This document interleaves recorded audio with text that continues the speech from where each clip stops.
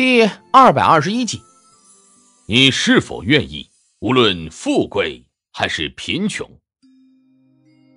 这心魔大事啊，理论上应是虚丹乃至更高境界的修士才能够运用的技巧。不过，对于五绝门派来说，理论外的破例方法总是能够找到的。凝神散虽然名气不彰，其效果却足以位列上品灵丹了。一剂凝神散吞服下去，王璐顿时感觉脑中大放光明啊！元神迅速的凝结，结成虚体，继而不断的转实，直至半虚半实之境才停了下来。按照灵剑派的标准，这已经是虚丹修士的元神强度了。虽然药效维持只有不足一息时间。但是拿这个来发心魔大士却是绰绰有余了。心魔大士啊，并不难发。先前师傅讲解了要诀，王璐自行也演练了几次。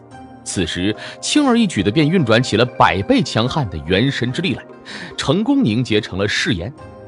虽然以心魔为名，但是起誓之时，内府元神波澜不惊，只有一圈无形无色的波纹自玉府正中心处扩散开去。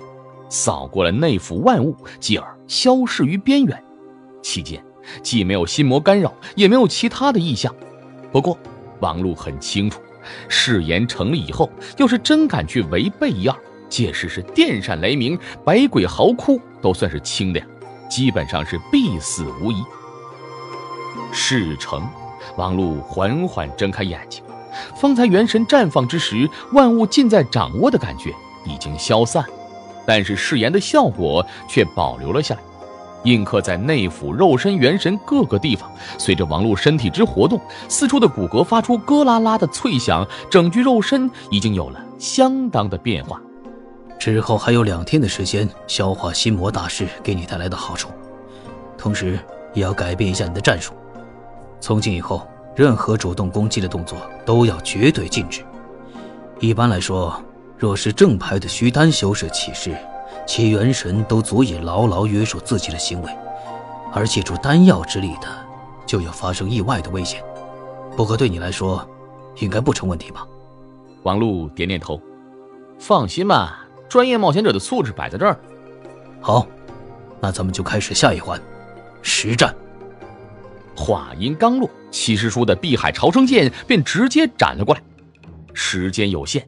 深知吴向峰风格的奥关海根本不浪费一点时间，而王璐也似乎早有准备。昆山剑顺势而出，恰到好处的挡住了师叔的攻击。哦，两剑相交的瞬间，王璐便是一惊啊！师叔当然不会全力出手，但是这一剑的威力却是稳稳当当的虚丹级别啊！换作是往常，非要受些内伤才能够扛过去，而现在他只感觉浑身一震，接的并不算是吃力。想不到，在这么短时间之内，心魔大士已经开始发挥奇效了。别着急高兴，这一剑只有琉璃仙五成的水准，接下来的两天，你还有的忙呢。七长老叹了口气，手中长剑再出，威力更上一层楼。来得好！王璐毫不示弱，非但以昆山剑成功格挡，更悍然抖动剑骨，催动无名剑返还伤害。如此凶厉的打法，让七长老也吃了一惊啊！王璐这孩子刚刚发下心魔大誓，应该对这种返还伤害的技能格外小心才对呀。亏他还真敢动手。不过，要是没有这等心性，两天后的决战也就不用打了，提前认输最好。琉璃仙的厉害，没有亲自交过手的人是很难理解的。两天时间，就算王璐以这种搏命的心态进行特训，胜算依然超不过三成。这还是七长老无限乐观的估计，毕竟王璐跟琉璃仙的修行时间差了几年呢，而对于他们这种绝世奇才来说，几年的时间已经足以拉开一段难以逾越的距离了。哼，不多时，王璐就被碧海潮生剑震出了内伤来。然而，这还仅仅是个开始。妈的，跟一个黑叔叔玩出血了，真是不吉利呀！大师兄，喝杯水吧。在王璐挣扎于地狱特训之时，凌迟峰粉红楼内，万法仙门交流团队啊，则是一片的惨淡气氛。展子夜半决赛的失利，出乎了所有人的意料。被仙门上下视若未来数百年门派希望的所在的稀世奇才啊，居然输掉，输给了一个修行时间相若、出身却还不如自己的蠢萌少女。若非亲眼目睹，任谁说来都难以取信于人呐。这场斗法的失败，给了万法仙门弟子带来了几乎毁灭性的士气打击啊！一行人甚至记不清楚究竟是怎么从云露天台回到粉红楼的，只记得恢复清醒以后，五名师兄弟都已经脸色铁青，无话可说了。终归，还是海云帆的心态最好。他叹了口气，便连自己惨痛损失的数十万灵石都抛到脑后，担当起了队伍里的鼓舞者。他没有急着去议论那场精彩却惨烈的战斗。而只是为每个师兄师姐都倒了一杯热水，又取来几盘点心，说些无关紧要的闲话，一点一点的缓和着氛围。不过成效欠佳，大家所说的打击似乎太大了，已经不是简单的方法所能够奏效的。然而，就在海云帆考虑要不要求助长老之时，却听大师兄开口了：“这一次，是我辜负了大家。”展子夜的声音沉重，却依然带着感染人心的力量。身处茫然的叶菲菲等人都被惊醒过来。我输得心服口服，对手实力比我更强，比斗落败，我无话可说。过去几年在仙门洋洋自得，是以为天下虽大，称得上对手的却没有几个，实在是坐井观天了。展子夜一边说着，一边对试图出言安慰的师弟师妹们摇了摇头。战斗之后，我在心中反复推演了上百次，即便琉璃仙不拿出新的底牌，单凭他已有的本事与我打，一百场里，我也最多赢下十来场。双方的实力存在切实的差距。真的不知道他是怎么练的。其实，这些话何须展子夜来说呀？只要是亲眼目睹了那场战斗之人，都能够看出琉璃仙的实力实实在在的是高出了对手一筹啊！他以剑心通明的千万变化，完美遮盖住了防御上的不足，而且战时心思澄净，不受任何干扰，根本是无懈可击。展子夜落败，虽然只差了一招。但是这一招的距离却是实实在在，并非是运气之类的偶然因素所为的。然而，意识到了这一点，反而让人更加气馁。大家是抱着碾压的心态来的，如今却在台上惨遭碾压，大师兄更是自暴自弃。一时间，就连万法仙门的印在骨髓中的高傲都受了动摇。本以为如今这一代弟子足以屹立于九州修仙界的顶端。如今却看到，顶端的上方仍有人存在，仿佛是看到了一片从未想过的未知天空，令人畏然生惧。然而，就在此时，展子夜却露出了令师弟师妹们感到心安的笑容来。那是在师门当中，每当遇到困难时，作为大师兄的他都会挺身而出的所展露的笑容。万法仙门并不是狂妄自大、无法无天的野蛮门派。我们是学者，而学术的原则是什么？师弟们下意识地答了出来：发现未知，了解未知，预测未知。没错。所以，对于实力强于我们的，应该是抱着探索的心态，主动学习，提高自我。呃，嗯。所以我这就去找琉璃仙交流修仙心得去了。师弟师妹们。就好好休息吧。展子夜沉声说着，身化雷光，往通明峰的方向就去了，留下一众瞠目结舌的弟子。品第二百二十二集，你是否愿意，无论富贵还是贫穷？下。展子夜驾驭着雷光，直往通明峰而去啊！然而才到半路，展子夜脸色就是一变，前方。师傅袁朝年的法力波动淡淡的传了过来，挡住了他的去路。这是师傅在无声的提醒自己，此路不通啊！展子夜满是懊恼，师傅居然在通明峰，而且拦着自己干什么呀？这是多好的学习交流的机会啊！作为师傅，怎么能够阻拦弟子诚心啊向学呢？另一边，在通明峰上，袁朝年摇头一笑：“啊，哈哈，让几位长老见笑了。我那不成器的徒弟，在他面前，则是灵剑派的二长老刘显、四长老周明以及九长老华云。两场半决赛之后，万法仙门败局已定，原先的傲气顿时是烟消云散，被圣经拜托的事情自然也当没发生过。两派的交流活动也终于步入了正轨。袁朝年此行前来通明峰，也是代表门派做出了亲善的姿态。尽管他本人心中也窝着火，但是一行三名长老之中，也只有他的情商足够驾驭这种情况。换了其他两个人，肯定要在通明峰上跟人打起来。而袁超年此行的交流话题，则是门派对弟子的教育。一旦谈起来，袁超年便发现。自己先前的确是小觑了灵剑派了，这些长老或许修为不如自己，但是在教育弟子方面是各有所长，令人受益匪浅呐。而且不得不承认，人家的姿态比自己做的还好。刘显说道：“袁长老太过自谦了，展子夜那孩子呀，修行八年就领悟万法全通了，将仙品功法五雷真经练到这种境地。”资质悟性，当事人少有能及的呀。门派也的确对他寄予厚望。自从十七年前那事之后，九州修仙奇才层出不穷，但真正能引领五绝未来的也没几个。我们万法仙门能得一展子夜，已经颇感庆幸，却不想你们灵剑派的收获更在我们之上。袁长年说着。有些羡慕。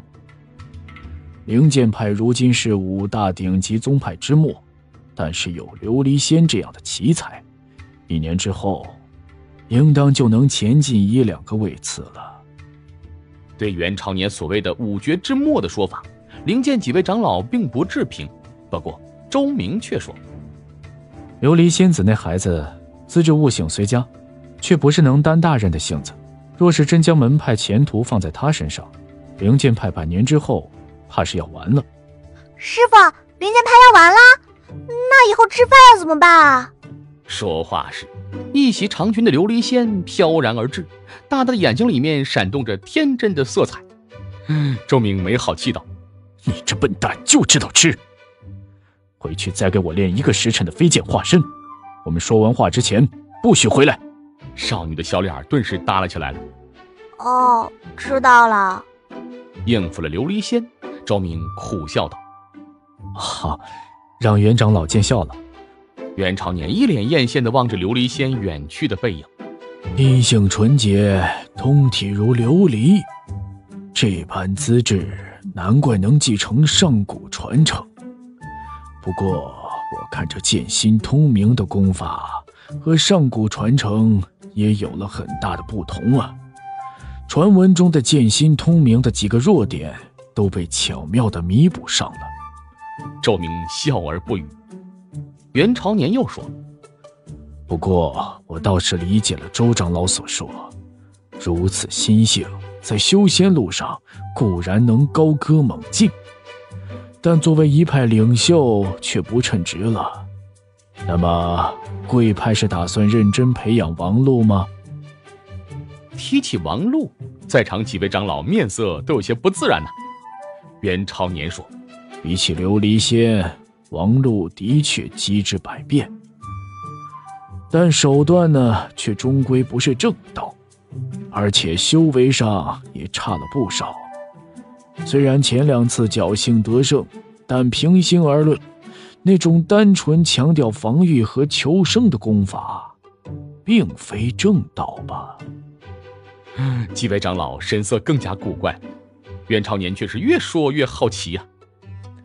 听说王禄师承无相峰，而无相峰主才有金丹修为。我想，既然王禄身上有如此长处，就算修仙的资质不算最好，也没必要将他交给一个不成器的师傅吧。更何况，王璐才华出众，以后。可以担当大任。切，你才不成器呢！九长老华云听到袁超年诋毁师姐，顿时有些懊恼啊。好歹你也是五绝长老，怎么也是拿修为境界看人？金丹怎么了？照样打得你满地找牙。袁超年心中气恼，然而看到华云那虽然写满着懊恼，却仍不失国色天香的脸庞，怒气啊，顿时就散了。哼，或许那白衣女子身上真有什么我没看出来的特长，不过一味求防守、求生存，这也未免太窝囊了。哪怕在万法仙门，纯粹龟缩防守的功法也一向是不受欢迎的。或许那五长老真有什么办法，能以金丹修为来抵挡自己这化神长老的法术。但是要说将自己打得满地找牙，那就是开玩笑了。何况这九州虽大，有谁敢说自己的防御是万无一失的？总有一天会被人寻到破绽，届时就连斡旋的余地都没有。那又是何苦呢？唉，只可惜了王璐那孩子，灵根资质如何姑且不论，单凭他的悟性，就足以令我元朝年也生出爱才之心呐。他如今却走上了一条邪路，若不是他已获真传身份，实在很想就这么挖到我万法仙门去。别的不说。仙门之中，弟子也好，长老也罢，为人处事方面比较乏力，的确需要一个机智百变的人物。如今掌门比较看好海云帆，但是和王璐一比，海云帆似乎也欠缺了几分味道。不过奇怪的是，据说王璐不久前刚刚找玄天馆的人下注，将全部的身家赌在自己身上。他就那么有信心能赢吗？玄天馆的人可不是吃素的，想要耍花招诈赌，就算五绝弟子也承担不起这个后果。他究竟在想什么呀？心中疑惑，袁朝年也就趁机会问出来。华云答道：“我们也不知道啊，不过王璐那小子肯定不会让自己吃亏的，他可是师姐教出来的徒弟呀。”袁朝年忍不住又问：“他不过炼气上品的修为，难道能比琉璃仙更强吗？”华云说：“理论上肯定不如，不过毕竟他是王璐嘛，对上他，小琉璃根本不够看的。哦，四师兄你别介意哦。”周明苦笑啊，老实说，我对琉璃也是信心不足，别的倒也罢了。若是五师妹把她那一招也交给了王璐，琉璃那笨蛋这次真的是悬了。华云奇道：“不能吧？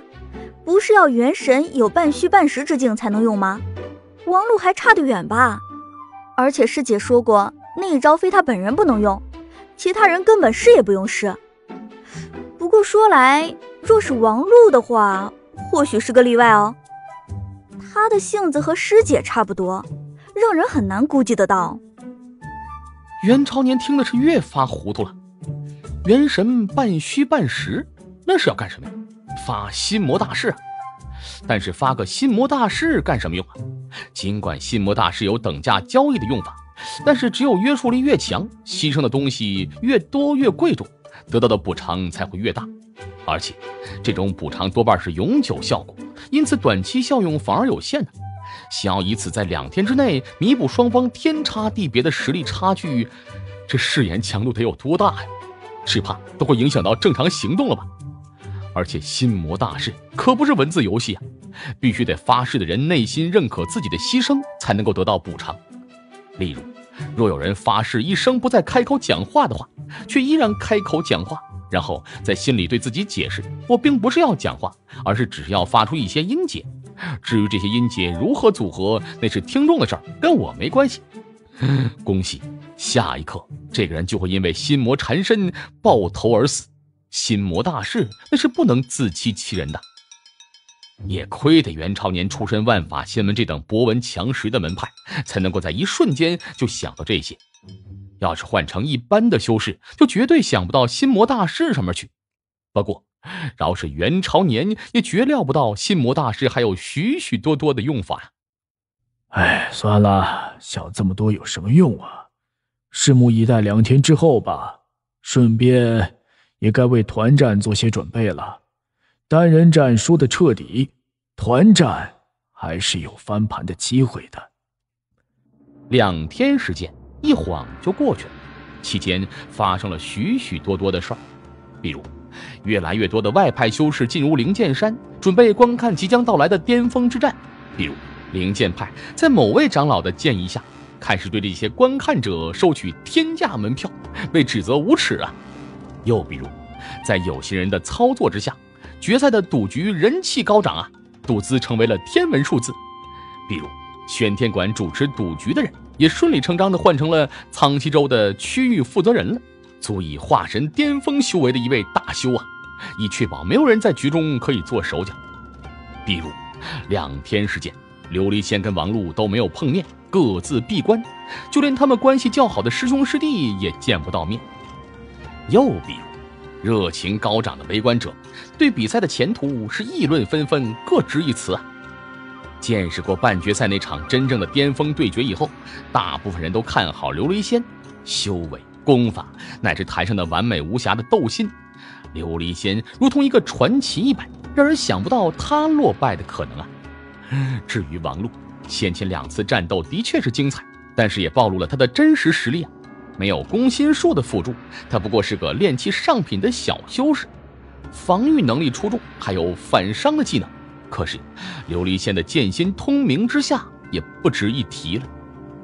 就连王璐的支持者也认为，要不是出阴招的话，堂堂正正作战，王璐绝对不是对手啊。而在决赛当中想出阴招，又谈何容易啊？但是，前两次战斗。哪一个不是在人们不看好的情况下，出人意料的手段翻盘呢？奇迹的王璐这个名头已经悄然流传开来，万众瞩目当中，决赛啊就拉开了帷幕。依然是云露天台，依旧是人声鼎沸，最被看好的琉璃仙早早到场，绚丽的衣裙掩不住少女蕴养多时的锋锐剑意，此时状态正是巅峰啊！而另一边，王璐的休息位上却空无一人。眼看着比赛即将开始了，王璐本人却迟迟没有出现。主持决赛的风吟真人哼了一声：“哼，别磨蹭了。”同时，远在无相峰处，某白衣女子耳旁响起了师兄的催促，于是无奈的一笑：“王璐，人家催上门来了。”啊！王璐淡淡回了一声。手中灵符引燃，霎时消失了身影。片刻后，无相峰上传来一声疲惫的叹息：“啊，师姐，你还真是收了一个了不得的徒弟，两天时间不到，居然真给他练成了。”白衣女子面上也是显出一丝失落的茫然。我修仙百余年，也是第一次见到比我还要无耻的。这小子不愧是天命之子，真是前途无量。说完，又是一声苦笑。师弟，帮忙打扫一下战场吧。就在两个人立足的无相峰顶上，原本平整的地面已经遍布坑洞了，如同被狂暴的力量肆虐过一般。品第二百二十三集，一天四次。云露天台上，距离比赛只有不足一盏茶的功夫了。在不少人渐渐不耐烦的等待当中，王璐姗姗来迟。因为没有飞仙御剑的能力，王璐是以山门内部的传送灵符倏然出场，顿时引来不少惊讶的目光啊！与先前两次战斗不同，王璐身上穿了一件漆黑的长衣，内中不知隐藏了什么玄机，而他本人。面色悠然，嘴角含笑，然后大踏步地走上了云台。云台上，琉璃仙等候已久。少女是人如利剑呐，惊人的剑意扑面而来。王禄直面剑意，却如沐春风，步伐不乱，一直走到自己的位置上，展颜一笑。见双方站定，风吟真人沉声做着最后的确认：“是否准备完毕？”琉璃仙高高举手啊！啊！王璐也点点头。外挂续费完毕，随时可战。那么，比赛开始。话音刚落，王璐脚下一动，身形如风，手中昆山剑出，是直指琉璃仙，竟然是仙法制人。万法仙门与灵剑派的门派大比，最终沦为了灵剑派单方面的表演。然而，这场决赛没令人失望，一开场就引发了一片惊呼啊！王禄居然先发出手了。先前两战，王禄的特点是已经展露无遗了。他拥有惊人的防御跟反击能力，但是相应的限制也很大。非但缺乏攻击能力，而且在防御之时，对肉身跟法力的运用也需要分毫不差。尤其面对琉璃仙时，更要小心谨慎。如今这种看似凶猛的攻击，很容易露出破绽，届时。对方剑心通明，只要一剑击出，就能够彻底瓦解他引以为傲的三尺剑围。然而，所有人都出乎意料的是，琉璃仙竟纹丝不动，手中剑不曾稍稍抬起，体内法力也不曾运转。坐视王禄的昆山剑直刺双目之间，却目光丝毫不乱。这是在藐视对手的攻击力啊！可是，就算王禄的攻击不强，手中昆山剑却是异常犀利。曾经的九重封印已经被打开了三重，纯以锋锐之意便足以斩破筑基修士的肉身了。任由昆山剑刺击，是自寻死路啊！然而，下一刻，王禄的动作却倏然而止了。昆山剑在距离对方只有一丝的地方稳稳地停了下来。王璐哼了一声，收回长剑，却踏步向前，左手直击琉璃仙的咽喉。少女琴手微扬，手中剑忍不住的向前划去，却在即将碰到王璐之时停了下来。好犀利的直觉啊！不愧是剑心通明啊！王璐目光直直瞪着琉璃仙的双眼，少女清澈的眼眸当中映着他的身影，没有一丝一毫的杂质。这一来一回，却让场下许多观众摸不着头脑啊！甚至一些修为达到元婴之境的外派长老也是好奇啊！这两个小辈的路数怎么让人看不懂呢？然而，灵剑派的几位长老见了，却都是变了脸色。刘显最先反应过来，王禄这打法，莫非是……哼，不愧是五师妹的徒弟，果然也走了这条路。方鹤俨然想起了什么不开心的事儿，本就古板严肃的面容更加阴沉了。还真的是这一招哎！周明师兄，你的担心果然是有道理的。华云最是没心没肺，哈哈的笑个不停啊。周明却是摇了摇头，苦笑，心中对吴相峰上这对师徒佩服的五体投地啊。才两天时间，居然真让他练出来了。记得当年五师妹也没这么快啊。华云笑得更欢了。同门百余年，总算见到比五师姐更不要脸的了。方鹤却嗤之以鼻啊！歪门邪道！话音刚落，王璐的昆山剑再次出手，却是斩向了琉璃仙的手腕处。少女柳眉微蹙，终于忍不住还击了。离火剑与昆山剑猛然相击，却没有万众瞩目的猛烈震荡。两口青灵长剑向后荡开，为这一轮交手画上了终止。而细心观察的话，可以发现，此时两人的手腕都在轻微颤抖着。台下华云忍不住赞叹呐：“嗯，但效果可是出奇的好啊！”几名长老都不作声了，显然都想起了一段悲伤的往事。对于灵剑派长老来说，王五那一套独特的战法并不陌生，虽然他以心魔大势约束自己不得主动伤人，但是实战起来，他把长剑递到别人的鼻尖上，只要不伤便不算是破事，反倒是别人大惊之下全力反击之时，反而被他以正当防卫为由直接给震死震伤啊！而用他本人的话来说，就是把剑塔修到别人家门口，然后再专心搞塔防，大概是九州一等一的无耻打法了。这一套打法，常人根本就无法模仿。心魔大师的特质是等价交换，牺牲越多，强化才越多。按照常人心性，既然了解了这套打法，便感觉自己也没有怎么吃亏。然而，一旦有了这种认知，强化效果自然就有限了。但是，吴向峰师徒却有着异乎常人的尺度啊！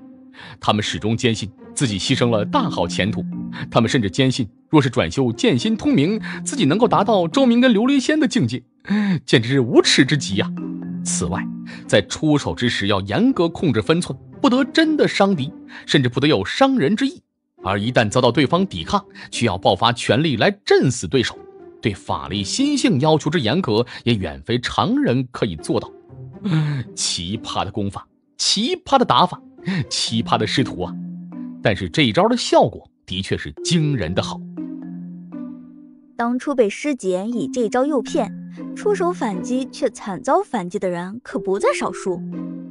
不过小琉璃可没这么好骗啊！小丫头虽然平时笨了点儿，上场之后的通明剑心可不是开玩笑的。哎，不对呀！华云想到什么，惊讶的瞪大了眼睛。以小琉璃的实力，用得着这么谨慎吗？要是换成其他人，遇到王璐这套塔防战术，自然是手足无措啊。但是琉璃仙不同啊，他可是境界稳压王璐数个品级的，一剑便能够定胜负的。他在担心什么？话语有些难以置信呐。难道说，在小琉璃看来，王璐的反击他经受不起？不至于呀。还是说这几年师姐把心魔誓言又强化过了？刘贤也是疑惑，不可能啊！当初那套誓词是咱们几个合力推敲了许久才定下来的，每一个音节都有着不容替代的意义，哪有那么容易强化？按照王璐的水准，现在绝无可能反弹琉璃仙的攻击的。就连接下来都应该很吃力呀，除非他筑基了，还差不多。以心魔大师强化过的防御力是的确惊人的，但是琉璃仙的剑心通明又何尝逊色呢？十二飞剑，就连筑基中品的斩子夜都不敢硬接啊！王璐难道能够接下来弹回去啊？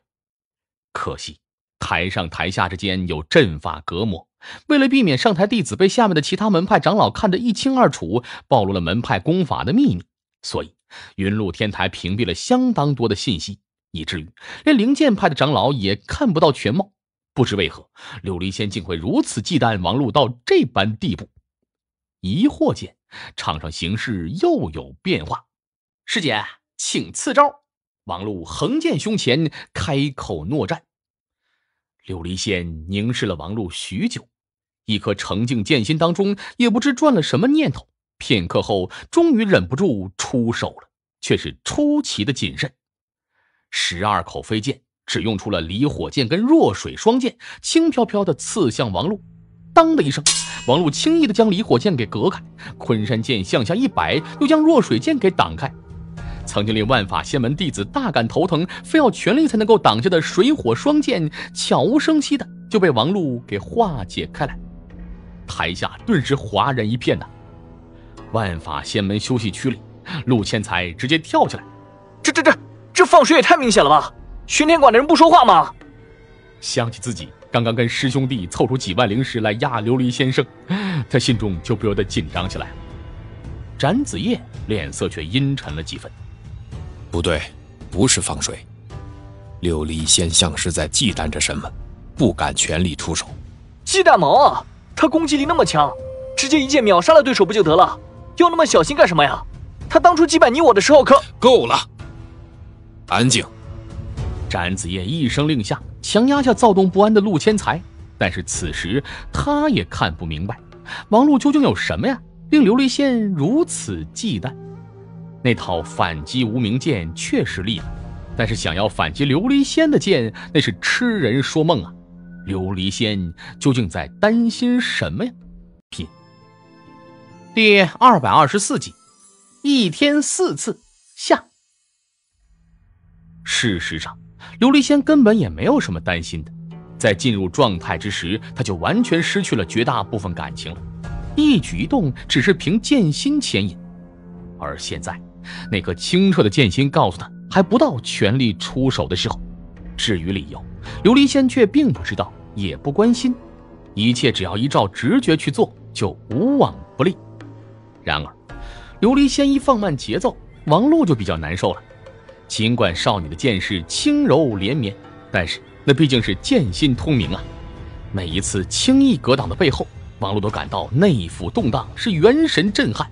唉，境界上的差距终究是差距啊。果不其然，三五招以后，琉璃仙一击流风剑是陡然加速，在王璐回剑不及之时，出其不意的刺出，王璐勉强隔开，却身形动摇，法力激荡，赫然就露出了破绽。下一刻，琉璃仙背后七口飞剑合二为一，但是少女却在抬起手臂号令集火的刹那犹豫了一下。通明剑心忽然发出了隐隐的警告，预示着前方有极大的危险。而一向信任直觉的琉璃仙就毫不犹豫地放下了手，准备将飞剑分离，重新以连绵剑势打持久战。而就在此时，王璐那被激荡开来的昆山剑却又挑衅似的歪歪斜斜地刺了过来。琉璃仙虽不知心魔大师之事，直觉中却也知道此剑并无威胁，便准备不予理会。刹那之后，琉璃仙眼前一花，玉斧剑心轰然绽放。少女身不由己的抬起手臂，七口还在分离中的飞剑是陡然聚合，直刺而出。哼，来得好！王璐散乱的剑势忽的奇稳凝固，浑身释放出惊人的气息来。台下几位长老豁然起身，是满目惊叹。临阵筑基，顾不得惊叹王璐此时忽而展现的筑基修为。只见琉璃仙对陡然出现的变化毫不在意，飞剑去势不减，竟是要硬碰硬的与无相剑诀一较高下。少女眼中的清灵透彻，全然不见，仅余下一片茫然之色。下一刻，王璐的昆山剑向上一挑，与剑心通明正面碰撞，众人期待已久的震荡终于到了。云台之上，云波翻滚，显示出方才两剑相击之时所蕴含的巨大能量。片刻之后，结果分晓。王璐咳嗽数声，嘴角带血；琉璃仙的十二飞剑则轰然碎裂其三。王璐抹了抹嘴巴，在无数人瞠目结舌当中笑道：“还有三次，再来。”云露天台上的决战已经持续了一段时间了。以一般的标准而言，这场战斗已经持续的蛮久的了，因为。这种精英弟子间的擂台斗法，有长老看护，选手但求一胜是不会留手的。战时互翻底牌，兔起骨落，胜负分晓极快。事实上，先前进行的两轮比斗，无不是在三五招之内就分出胜负了。比赛节奏相当紧凑而精彩，往往一息之间就有数波变化，令人是应接不暇。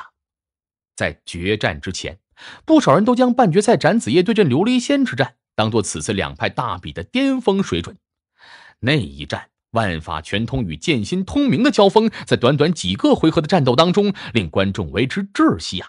而今日的决战，场上局势却令观众为之纠结。一位仙风道骨、鹤发童颜的老者，轻轻捋着胡须，两道细长的白眉纠结在一起。哎呦，老夫近些年观看的年轻一辈斗法。也不算少了吧，却还是第一次感觉自己有点看不懂了呢。这位来自万象宗的长老，修为高深，元神强大，自开战之时便紧紧锁定了云露天台上的一切变化，但是反馈回来的信息却让他琢磨不透啊。王璐为何自信十足的主动出击，琉璃仙却是又在忌惮什么呢？若非台上那位面色冰冷的玄天馆负责人始终一言不发的话，他真要怀疑这场比赛是不是该打假了。然而，就在他心中大惑不解之时，王璐与琉璃仙的第一波正面交锋爆发了。刹那间的信息量令这位万象长老心中震惊啊！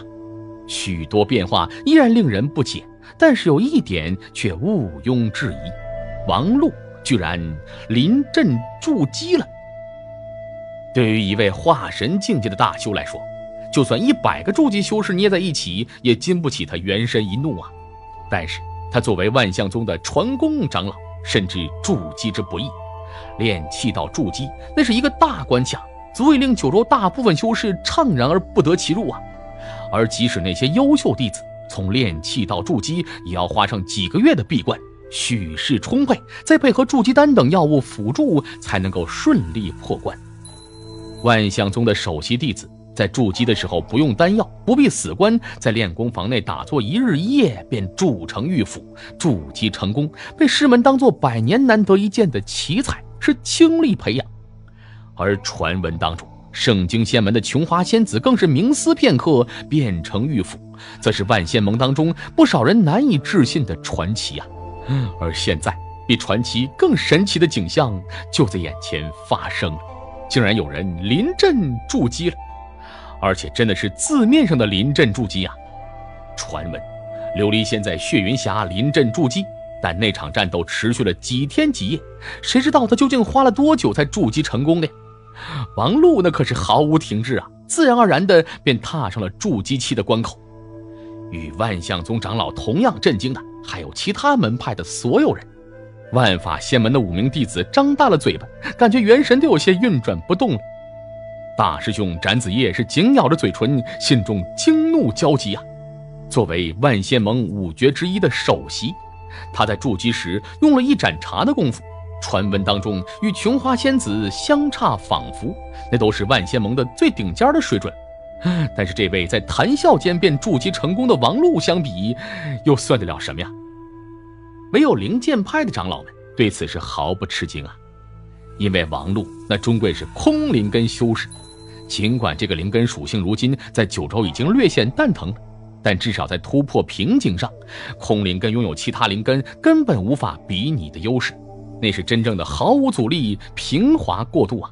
是今天筑基完，明天就上班啊？不是，是一边筑着基一边就上班呐。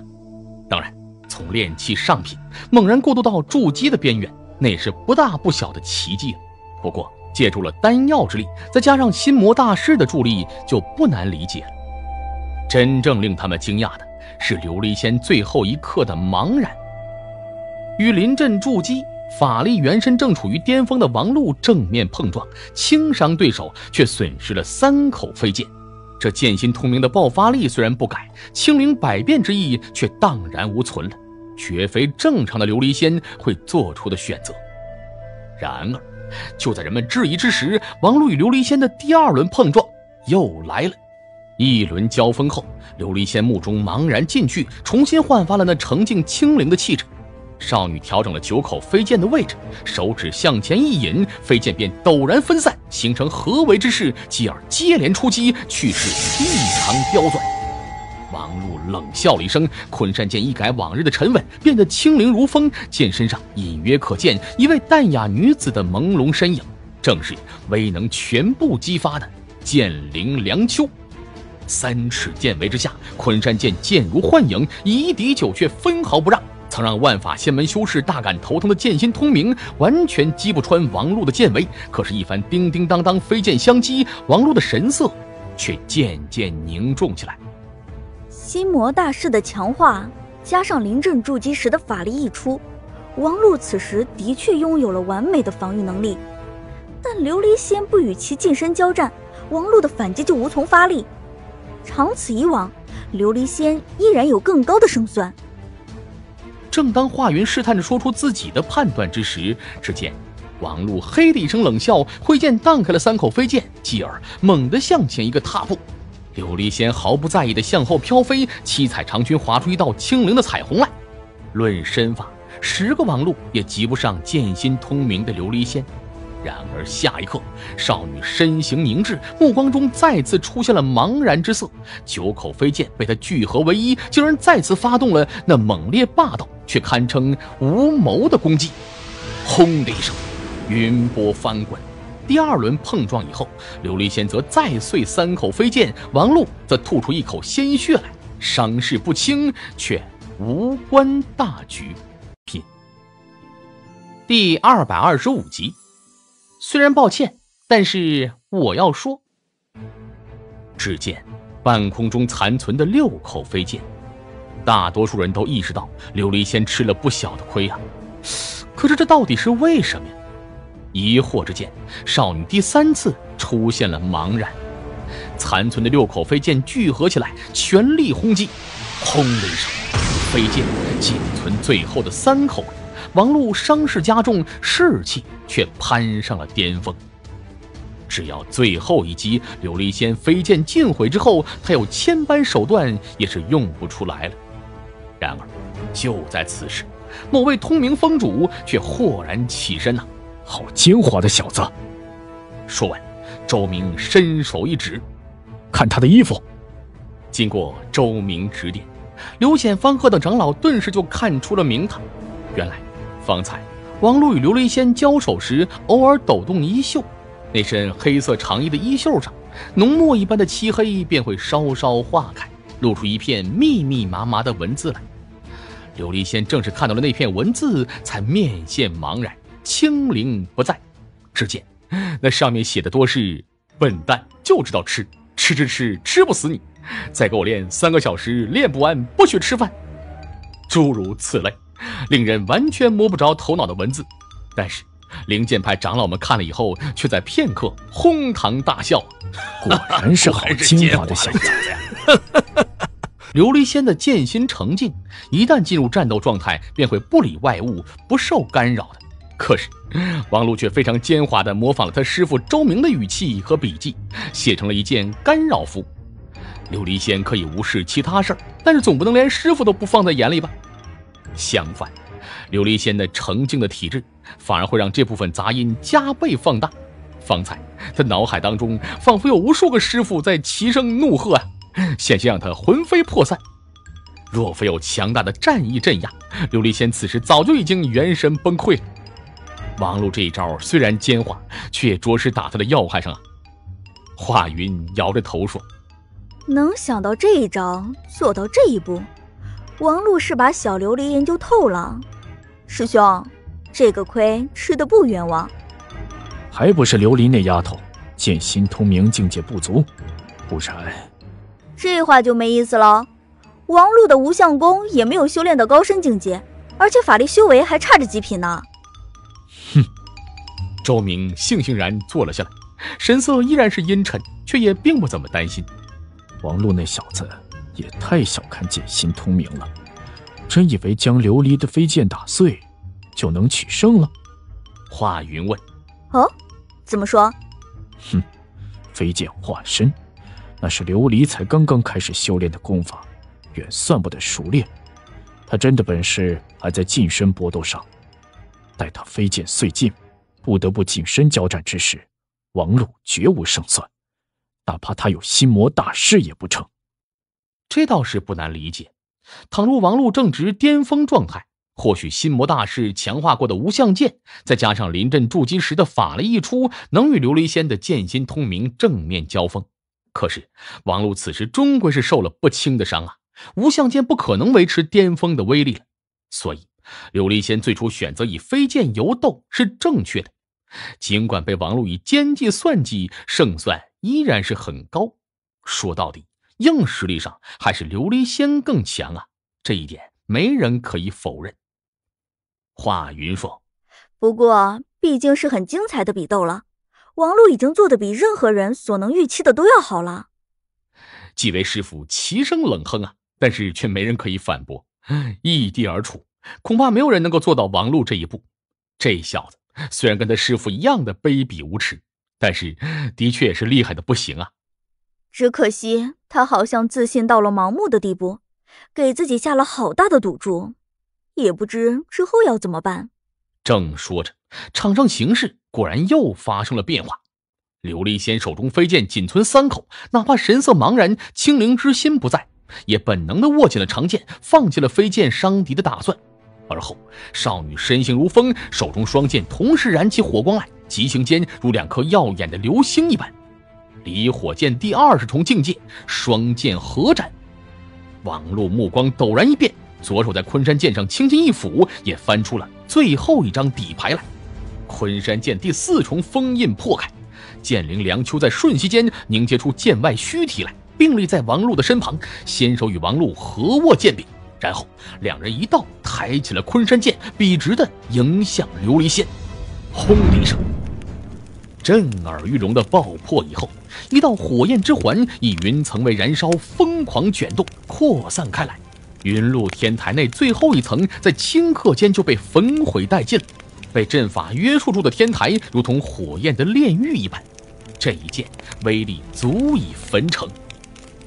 而在炼狱之中，琉璃仙不断的咳嗽着，口中鲜血不断，受了严重的内伤。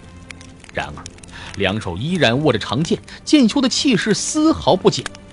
另一边，火焰正中，一道金光璀璨夺目，那是某一方战败之时，长老为了保全其性命所放的法术之光。金光现，胜负分。这一战，琉璃仙赢了。在台下轰然爆发的喝彩当中，有几片区域却完全死寂无声。灵剑派跟万法仙门的弟子们愣愣的看着台上的结果，却都觉得难以置信。那个王璐居然真的输了。哎，好吧，尽管从任何一个理性角度思考，这都是合情合理的结果。甚至万法仙门几名弟子还砸锅卖铁拿出钱来压了琉璃先生。可是当结果出来，依然是难以置信呐！那个奇迹的王璐没能够再创造奇迹吗？哎，说来，记得王璐那小子战前压了九千多万灵石在自己身上啊！哎呀，要不然说珍惜生命啊，远离赌博呢啊！而此时此刻，在天台之上，金光包裹之内，王璐一脸的惨然。妈的，居然还是输了！就在他对面，琉璃仙嘻嘻一笑。收起了长剑，少女战意尽敛，锋锐剑意被天真烂漫的笑所取代了。打得很好啦，真没想到你这么厉害。师伯们都说吴向峰一系好玩弄阴谋诡计，自身修为就不怎么上得去。王璐苦笑啊，哼，你的安慰真是好刺耳啊！一边说，一边又摇了摇头。算了，先恭喜你取胜吧。说着，向琉璃仙伸手表示了友好。琉璃仙虽然天真，倒也不是不通礼节的，笑呵呵的走了过来，握住了王璐的手。而下一刻，一股粉红的雾气从王璐手心上喷出来，琉璃仙晃了晃就扑倒软地。王璐伸手抱住少女，将她缓缓放在地上，然后在自己肩头的一处机关上轻轻那么一摁，身周的金光就熄灭了。台上台下。是一片死寂呀！王璐在台上站了一会儿，咳了几口血，他的伤势已经非常沉重，随时可能倒下，却不见有人说话，只好自己开口 虽然很抱歉，但是我要说，我赢了啊！拼第二百二十六集，王璐已经超神了。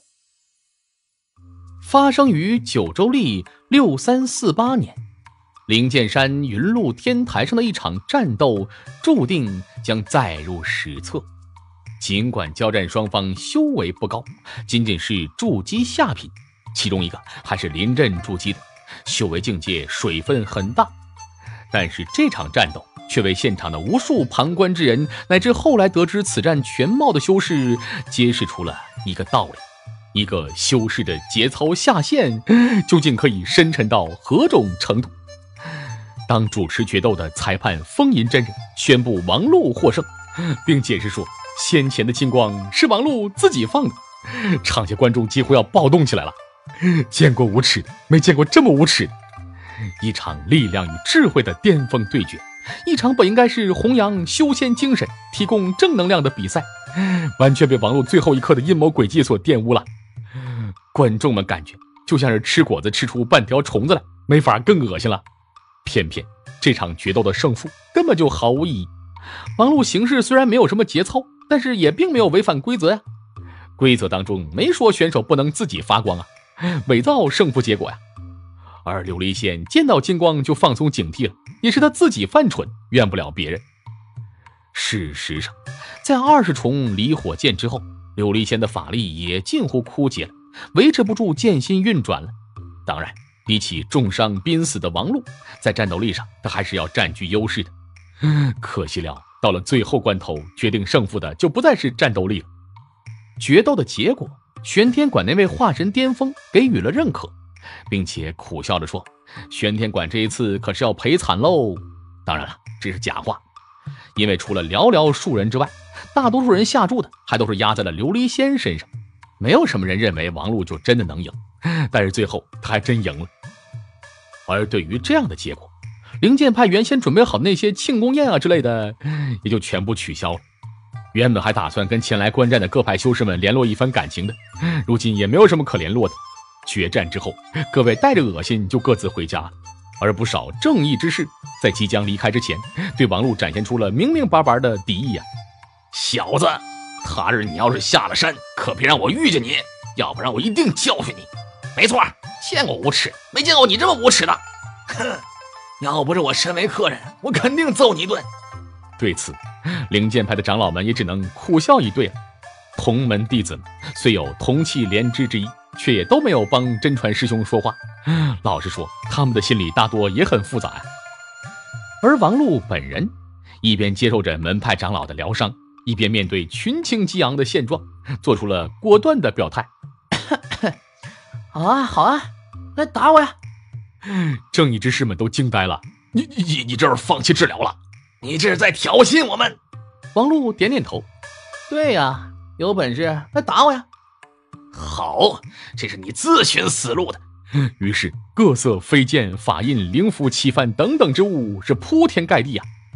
负责治疗的七长老顿时被吓了一跳，眼看着即将被飞剑法宝海吞噬，王璐却一伸右手，七万，怎么你要求饶了？哼，现在求饶恐怕晚了点。想打我可以啊，得先交钱啊！什么？王璐理直气壮，没道理，白白浪费我的时间精力，满足你们的正义感吧？想打我可以啊，先交一万灵石，然后上擂台，我陪你打个痛快。一一万灵石，这是底价。我一天的精力有限，不可能无限制陪你们玩，一天只打十场啊，按照你们出价高低顺序打，给你们一盏茶的功夫竞拍，名额有限，要打的赶快啊！我靠，你要不要脸了？王璐一拍桌子，哼，穷逼！没钱就直说呗！我靠，老子出十万灵石，看我把你打出屎来！王璐又是一拍桌子，靠，你个金丹真人也好意思跟我这筑基上台啊？是谁不要脸？事先声明啊，修为仅限于虚丹以下，不含虚丹。要是境界高深的手痒的，双倍付款以后，先自行压制修为跟元神，接受的出价，不接受也可以。我这里接受预定，交付定金以后。待我修为与你同境界以后，便可以随时接受挑战。我靠，你算计还挺精啊！哼，来之前没打听我的名头啊？灵剑学霸的光环，岂是你一个下里巴人所能企及的？哎，行了行了，时间也不多了啊，竞价结束没有啊？我第一个，我出五十万灵石。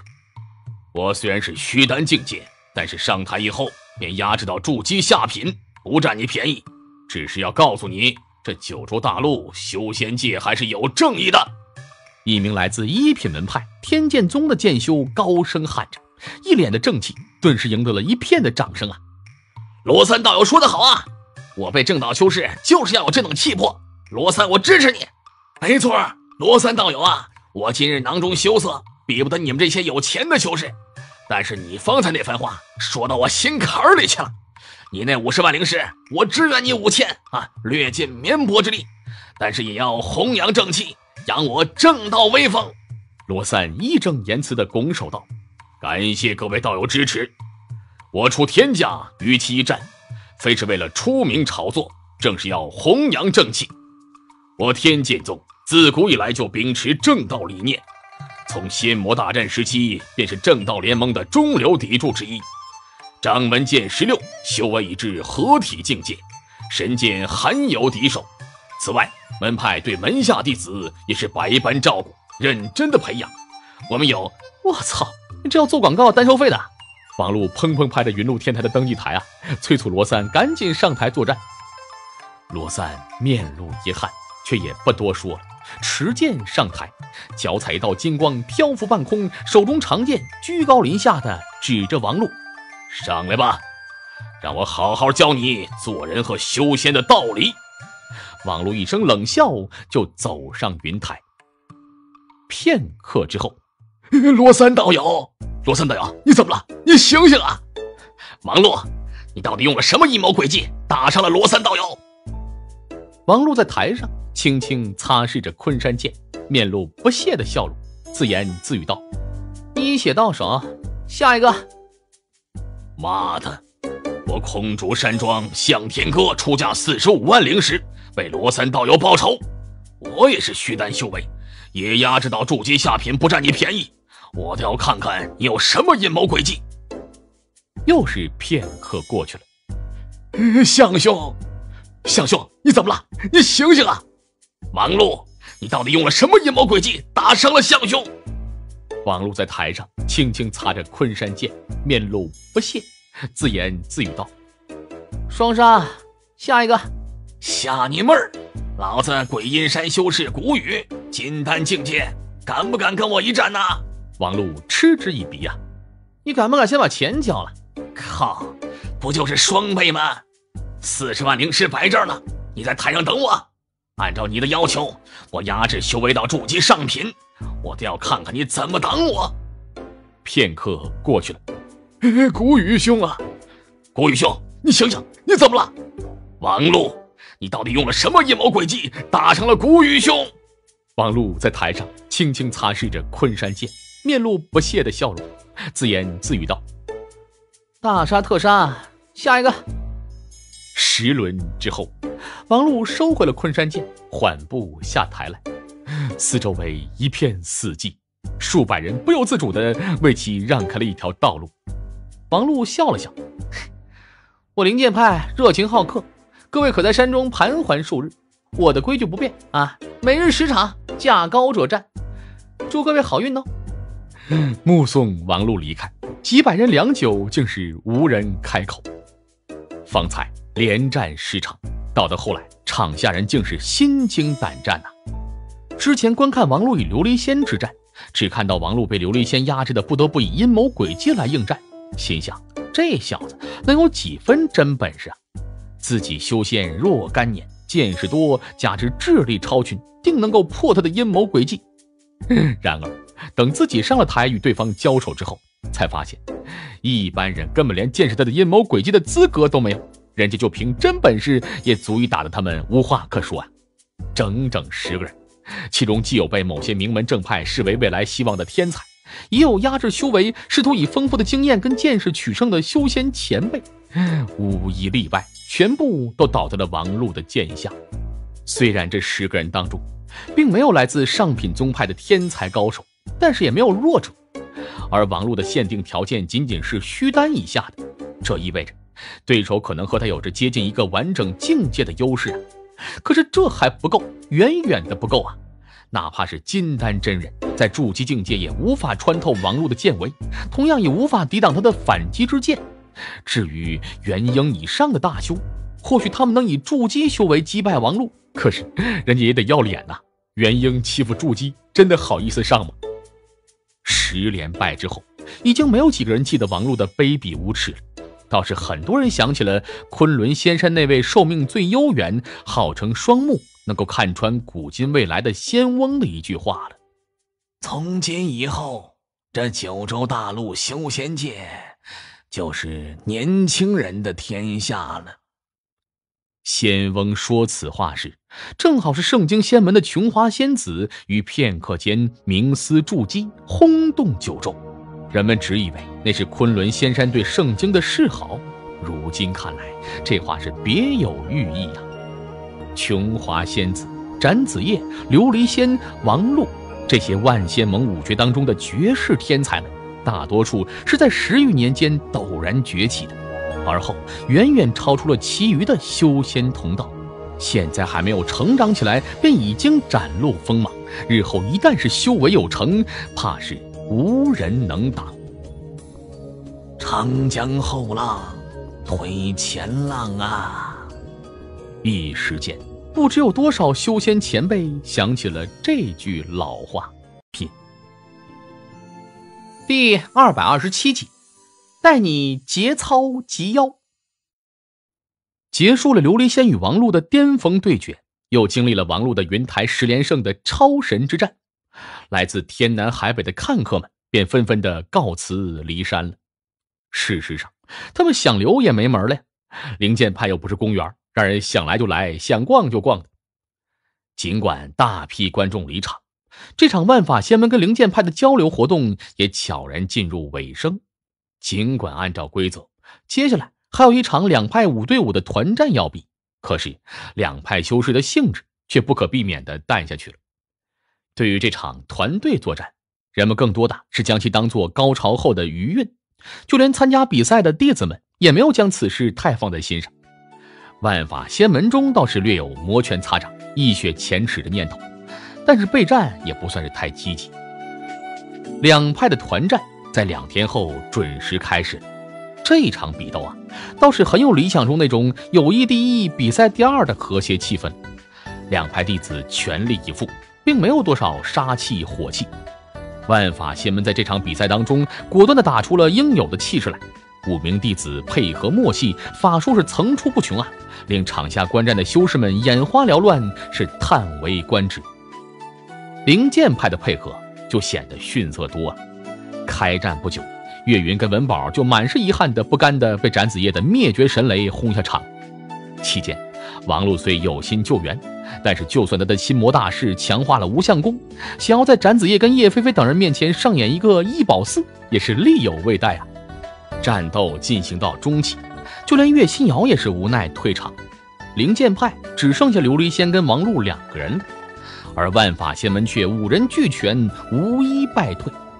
至此，人们本以为万法仙门将顺利的取得胜利了，挽回一些颜面了吧？但是结果却又令人意想不到啊！因为剩下那两个万法仙门说什么也搞不定了，王璐就不必说了，就连琉璃仙的剑心通明都奈何不了他的三尺剑围。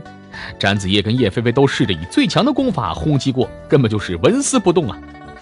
而琉璃仙虽然不擅长防守，但十二口飞剑分散开来也不是那么容易对付的呀。何况王璐虽然一保四啊保不过来，但是以无相剑气来保琉璃仙一个人却是毫无压力。纠缠了一会儿，王璐跟琉璃仙擅长持久战的优势便体现出来。万法仙门一方最重要的防御者陆千才耗尽了灵符了，再也无法庇护队友在剑心通明下生存。于是几名师兄弟被琉璃仙一一点杀。最后斩子夜试图故技重施，以灭绝神雷同归于尽，结果被王璐热情洋溢的冲上去紧紧给抱住了。肆虐的雷霆之力全给闷回来了，险些把展子夜闷的是玉斧坍塌、元神崩坏啊！单人战跟团战，两战皆负，万法仙门已经无话可说。师兄弟几个人决定忍辱负重，回山闭关，卧薪尝胆，他日再来报仇雪恨。临行前，灵剑派组织弟子们前往四象峰送行，双方互致别辞，场面倒也真挚感人。三年之后，不，一年之后，我定要再次登门拜访。展子夜面色严肃，一脸斗志不屈的昂然，试图掩盖内心的紧张与悸动。琉璃仙，届时我一定不会再输给你。少女是歪着头，一脸的不解啊。可是，一年后你肯定还是输给我呀。展子夜哪料到？纯真的告白会得到这样的答复啊！脖子一梗，那可未必。站在一旁，随之一道送客的王璐不由得叹了口气，深深为万法仙门这帮废柴死宅的智商感到可悲啊！琉璃仙师姐，那孙子说下次来就请你吃烤肉。少女的目光顿时清澈明亮了，笑容是灿烂如花啊！好呀好呀，欢迎你随时再来。说着。还伸出一双纤纤玉手，紧紧握住展子夜的手，上下摇摆。一言为定哦，下次来一定要请我吃肉。嗯，展子夜顿时感觉自己的一颗赤诚之心被这两种截然相反的感情扭曲搅动着，一种名为温柔细腻的小手触感带来的幸福，一种名为看来我这辈子是没戏了的痛苦。很快。那颗赤子童心就被碎成了点滴残片，如同遭受了不亚于剑心通明的严重打击一般。此外，海云帆也是感慨万千呐。王兄，你可又给我上了一课。小海，我什么时候上过你啊？别乱说啊！海云帆努力让自己笑出来。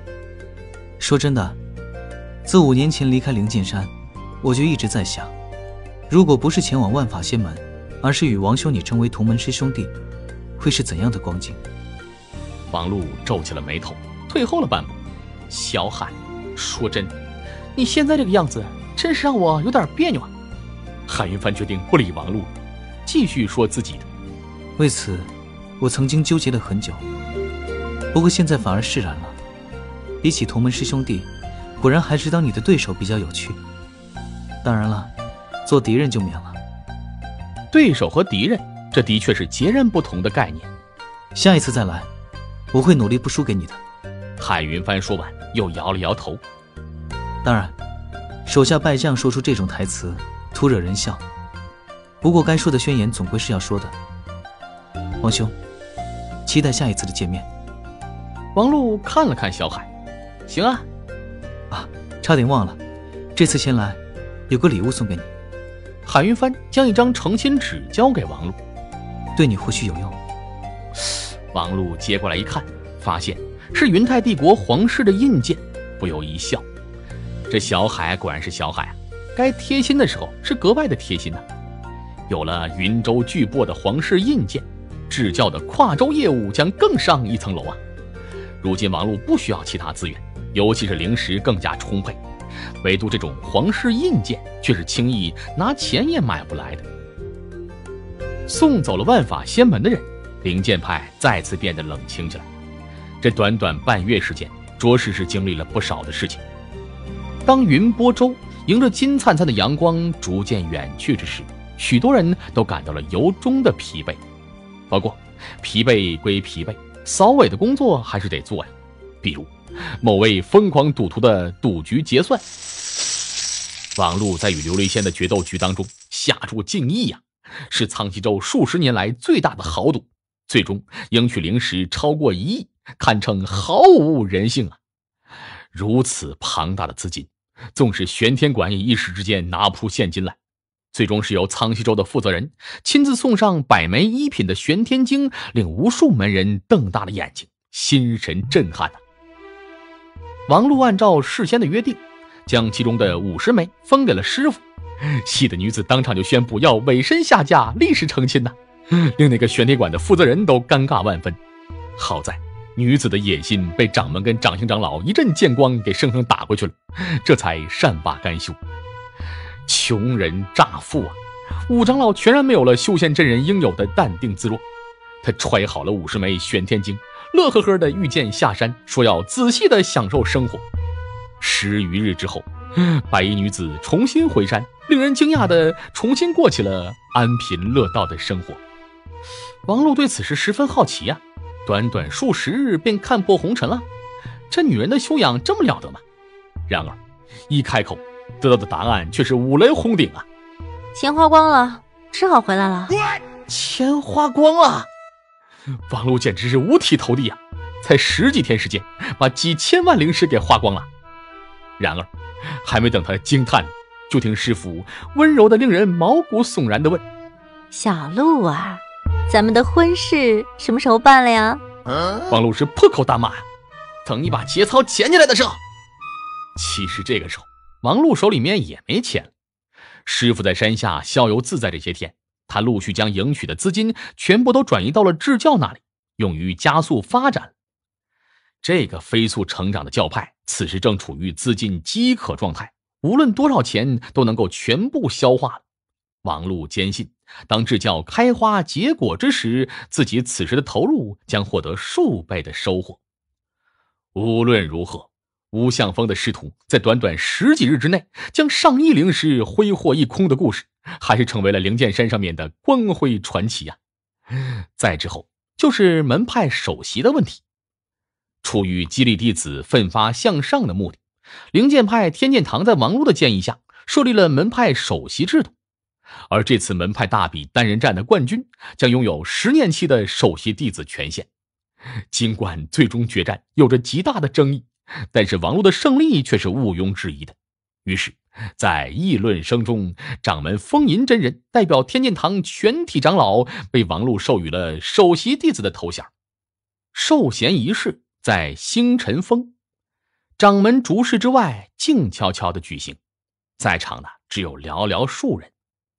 原本灵剑派是打算在四象峰召集全体来宣布首席人选的，以此来激励士气。不过，谁让王禄是这首席呢？来得如此奇葩，原定的盛大仪式就只好草就了。对于王璐来说，首席弟子的特权远比盛大的仪式要有意义啊，而他也从来没在乎过其他人怎么看的。接过风吟真人手中象征首席弟子荣誉的金牌之后，王璐便准备下山了。却听风吟真人笑道：“不陪我这个新上任的师傅聊聊吗？”门派首席只受掌门制约，理论上等同于掌门弟子。风吟真人这么说，王璐也只好停下了脚步，回以笑容：“您老有话请讲。”竹室之外，老者与王璐并排而坐，老者沉默了许久。缓缓开口：“自你入灵剑派以来，已有五年多了。然而你在升仙路上过关斩将的一幕幕，却还记忆犹新。那时阴差阳错，险些铸成大错，将你拒之门外。如今想来，仍然后怕不已。哼，有那么严重吗？灵剑派人才济济。”琉璃仙师姐，还有那个五年来没有怎么见过的朱诗瑶师姐，哪一个都不在我之下。其余门派能得其一，便可安天下。其实啊，灵剑派缺我一个，没什么大不了的。顿了顿，王璐认真的说：“相反，要不是在这儿修行了无相功，我断然不可能有今日成就。这一点我还是分得清楚的。”风吟真人目光当中露出无比的欣慰来。嗯。你能这么想，殊为不易。不过也不必妄自菲薄。尽管小琉璃和瑶儿都是九州大陆一等一的天才，但灵剑派的未来，终归还要落在你身上啊！王璐沉默了一会儿。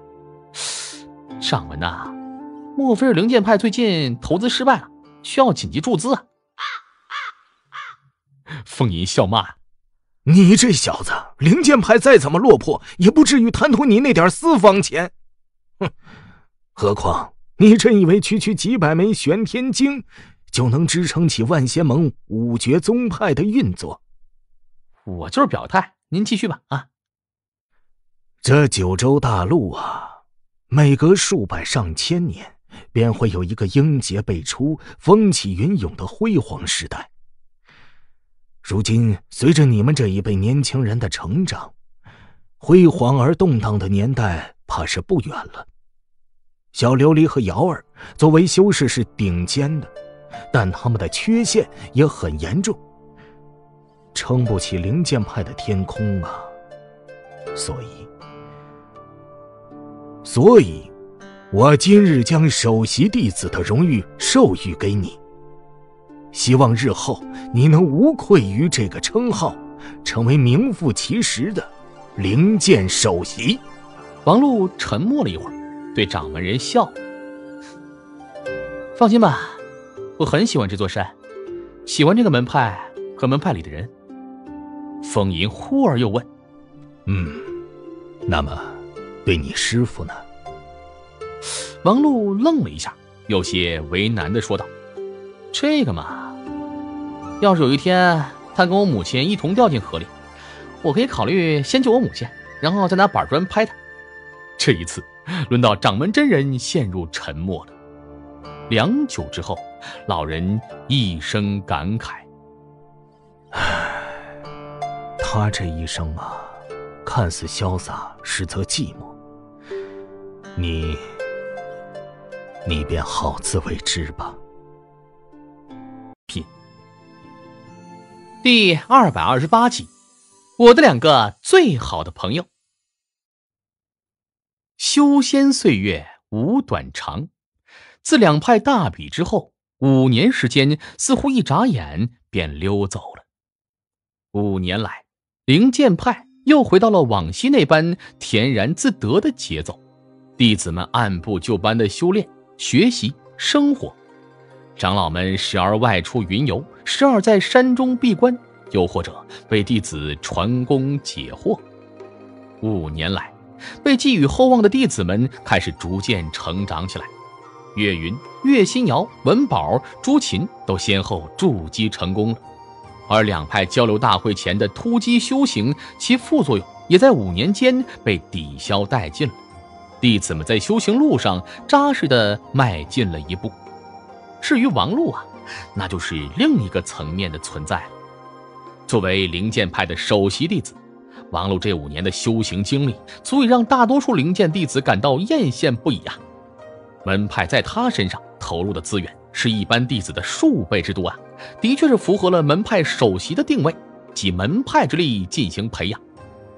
王璐当初不惜一切代价要拿下首席待遇，除了要压制不靠谱的师傅之外，就是为了能够在修行路上走得更快一点。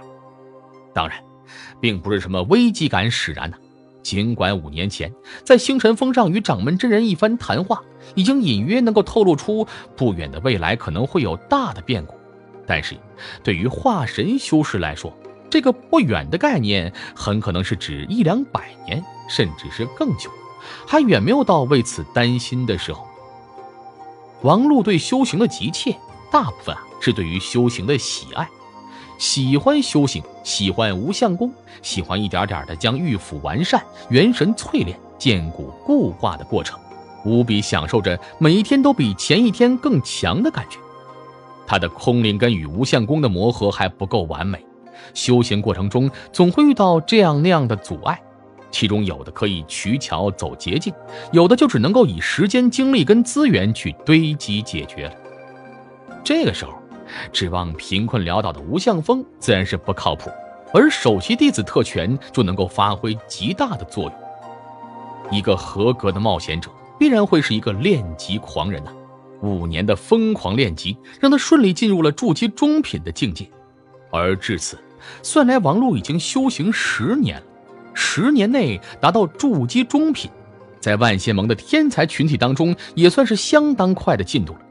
更何况，他还有心魔大师强化过的无相功体系，其综合实力已经成为了年轻一辈当中的顶尖水准。不过，要说是能够一骑绝尘，将所有同辈都甩在身后，却也是未必啊。五年来，所有人都在进步，比如卧薪尝胆的万法仙门弟子们，其中大师兄展子夜回归仙门一年以后，便进入了筑基上品，进度快得不可思议啊！修为晋升以后，他如承诺一般的重回灵剑山登门讨教，然后 果然再次败于琉璃仙之手。因为琉璃仙同样在这一年当中取得了惊人的进步，与展子夜的差距反而拉大了少许，几乎令展子夜为之绝望啊！过去的一年，他深入门派历练之地，经过百般苦难才有这样的境界，却不想还是跟不上对方的脚步啊！展子夜黯然离去的背影，令灵剑派的诸多长老唏嘘感慨。展子夜、琉璃仙、王璐这一批令许多修士感慨“长江后浪推前浪”的绝世天才们，是各有各的机缘，但是无一例外，在修行问题上都格外的执着拼命。展子夜或许在过去一年里做了许多许多，但是琉璃仙又何尝偷懒了呢？过去的那一年之间，琉璃仙至少全力作战一百场，重伤数十次，其中几次甚至玉斧动荡，元神崩裂，险些酿成大祸。这般拼命，怎可能没进步呢？而至于那个和琉璃仙交战百余次，促使其突飞猛进之人，还会有谁啊？五年来，王璐拼命修行的另一个原因，就是琉璃仙。自从云露天台那场决战之后，琉璃仙啊就缠上他了。对于性情单纯的少女而言，云露天台上的失利并不会让她心怀怨恨。相反，王璐那神奇的剑法深深的吸引了他，令他为之心神俱醉啊。自他剑心通明有成以后，还从未有修为与其相仿却能够正面挡下他飞剑的修士的。而琉璃仙表示好感的方式，就是隔三差五的提剑来战。每一次都战的是昏天黑地啊！哪怕是重伤而归，他也是乐此不疲。对此，王璐倒是来者不拒。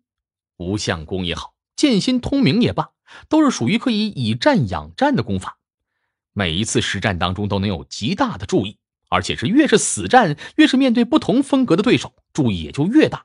单纯的闭关死修效果倒也不是那么明显。而无论是剑心通明还是无相功，都是不缺乏变化性的。同样的对手，却能够带来截然不同的战斗体验。这俩人五年来交战近千场，几乎是场场不同啊！这么多场打下来，自然不可能是全胜全负的结果了。王璐粗略估计了一下，和琉璃仙的胜负大约是五五开吧。最初两年呢，输多赢少，后来三年才渐渐给扳了回来。不过也谈不上是太大的优势。当然，和五年前手段用尽也无法堂堂正正战胜琉璃仙的情况相比，五年之后能跟琉璃仙打的是不分胜负，甚至是略胜一筹，已经是极其难得的进步了。如果按照王璐那个普及的那套加权值的算法来说，如今他的综合实力大概是筑基六品加二十，琉璃仙则是筑基两品加十六，差不多是等同于虚丹巅峰的小明了。要是单独计算两个人的攻击力跟防御力的话，最高甚至可以达到加二十五以上，进入了金丹级别。五年来，王璐跟琉璃仙除了修为上的收益以外，还有近千场。战斗打下来的交情，五年前这两名真传只是点头之交，五年后却已经成为了好朋友。用王璐的话来说，琉璃仙是人类最好的朋友。这一日，王璐吃过早饭，刚准备收拾碗筷，就听到屋外的少女活泼开朗、元气十足的声音传了进来：“王璐，王璐，我来找你玩了哟！”而后，眼前闪过一道七彩云霞来。琉璃仙已经笑呵呵地站在眼前，笑靥如花。王璐看了一眼少女，点点头，坐呀。琉璃仙立刻坐在桌前，坐姿笔挺啊。伸手，琉璃仙伸出纤纤玉手，哎，真乖。王璐摸了摸他的小脑袋，从口袋里面取出几块糖来，放进他手里，吃吧。嗯。琉璃仙娇憨地笑着，然后将糖果送入口中，含糊不清地说道。嗯，打吗？我靠，还打呀？昨天不是刚打过吗？琉璃仙却意外的说出了一句饱含哲理的话来：“昨天吃了饭，今天也还是要吃着嘛。”少女，你不要太所求无度啊！王璐没好气的弹了他脑门一下。最近这几天啊，大概都没得打了，我要准备出远门了。琉璃仙点点头，理所当然道：“当然是出门打，师傅说过。”绝对不能在屋子里打架，不然打坏了东西我就不能吃晚饭了。出远门和出门不是一个概念啊！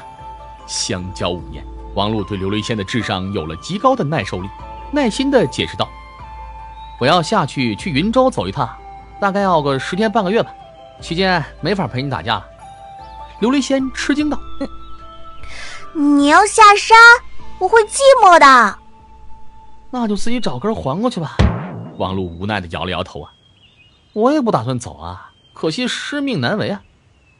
琉璃仙问：“我记得你说过，你现在是首席弟子，一人之下，万人之上。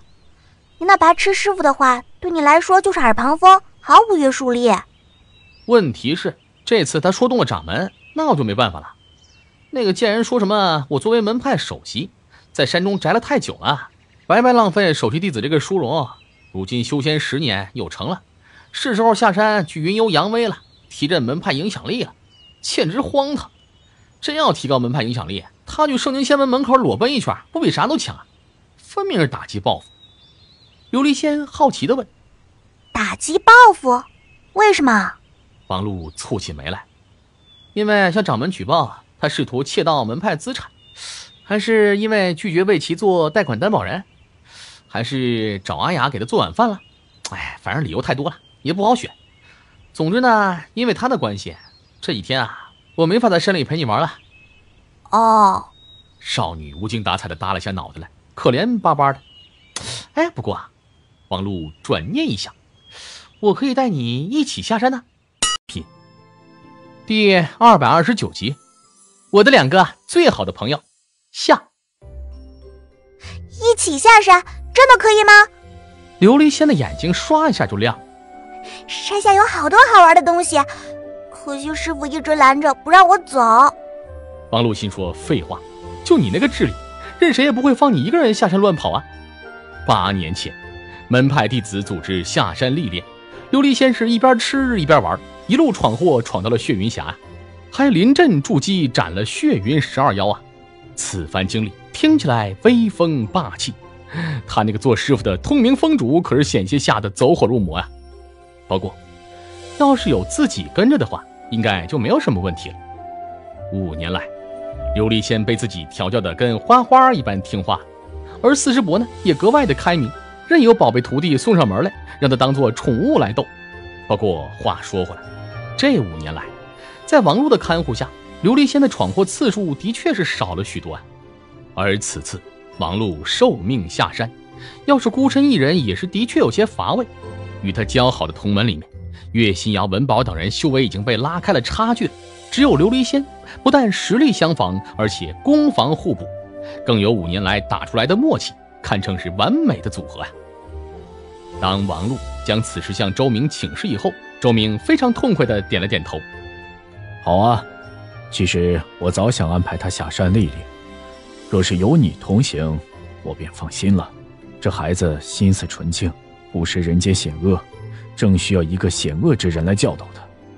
你愿意帮这个忙，我应该谢谢你。哎，多谢师伯夸赞，那我就不客气的收下这个苦力了。从通明峰离开，王璐回了无相峰，叫上了琉璃仙，牵上了杂毛狗，便踏上了前往云州的旅程。琉璃仙啊，我问你，咱们这次下山来这干什么呢？吃喝玩乐。哎，再猜，吃遍九州。继续猜，刚才猜的都不对吗？废话，当然不对了。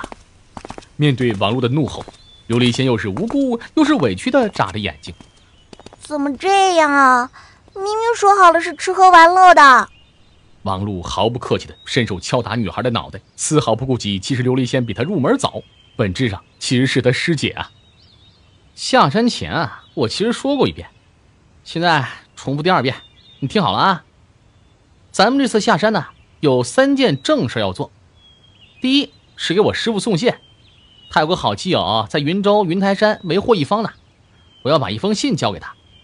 第二是沿途呢记录所见所闻，增长阅历，开阔眼界，淬炼元神和仙心。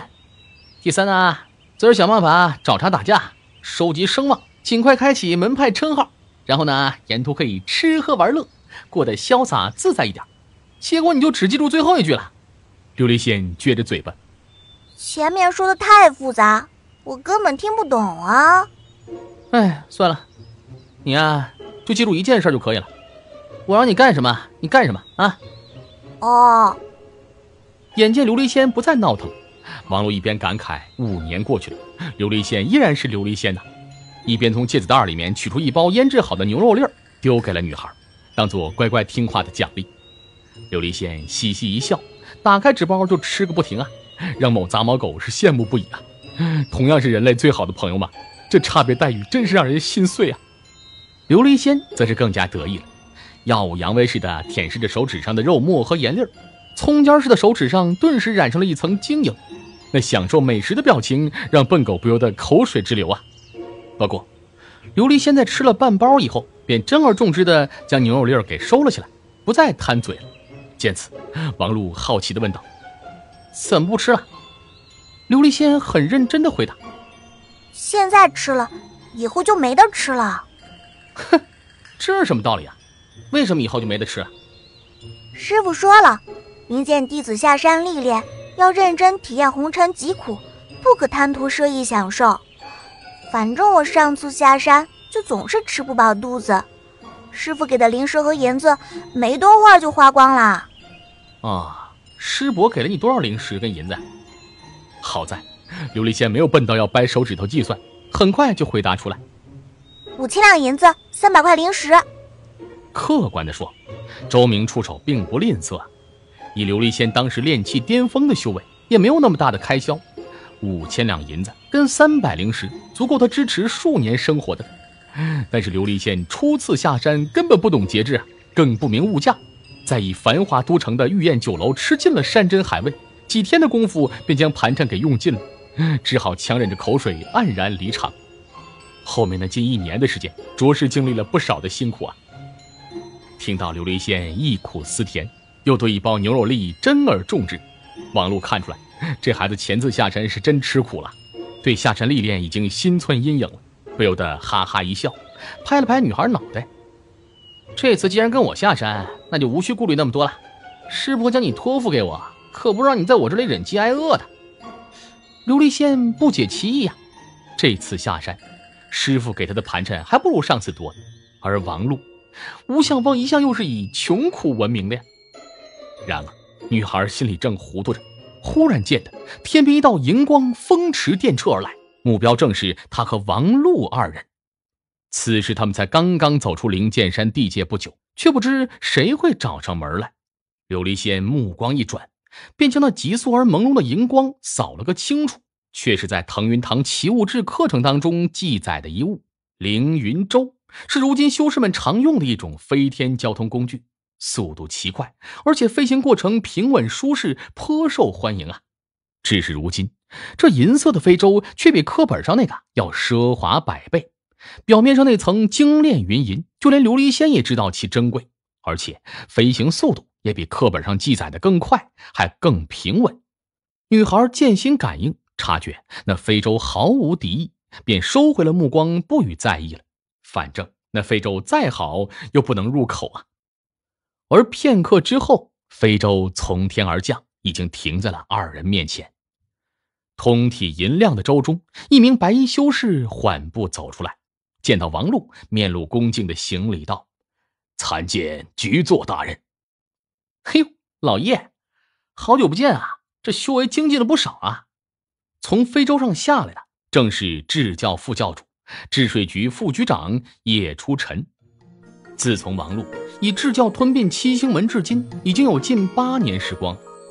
当初的七星掌门已经完全适应了副教主的身份，如今想来，叶初晨对当初被王禄击败收编一事，心中却只有无尽的感激啊！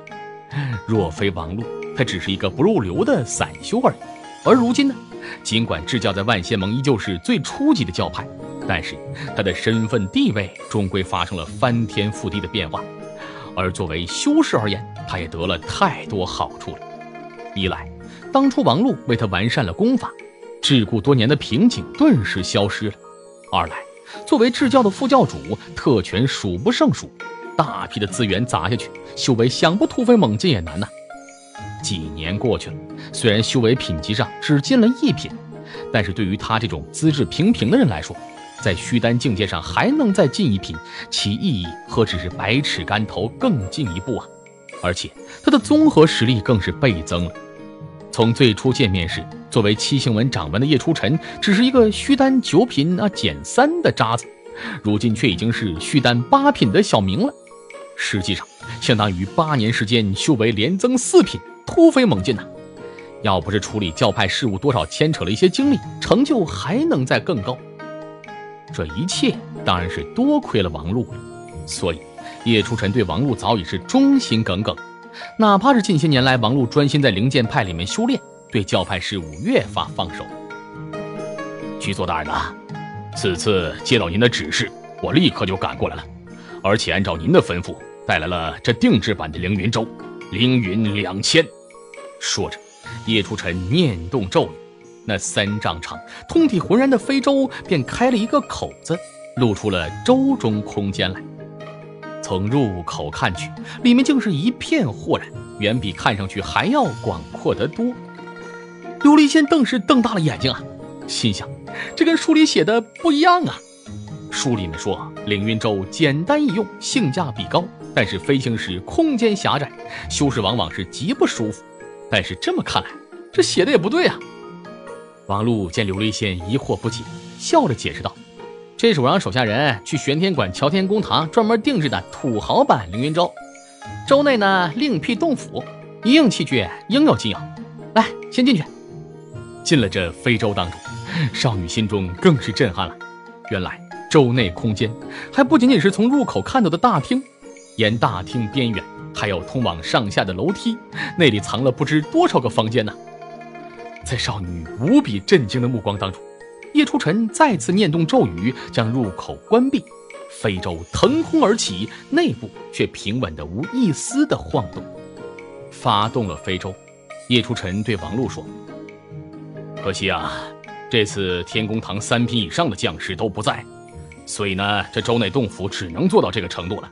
您说希望有的山水草木、歌舞艺傀儡还无法实现啊，属下无能，还请局座大人原谅啊。”王璐径直在大厅一个躺椅上面坐了下来，挥了挥手：“无妨，短短十几天能做到这个程度就已经不错了。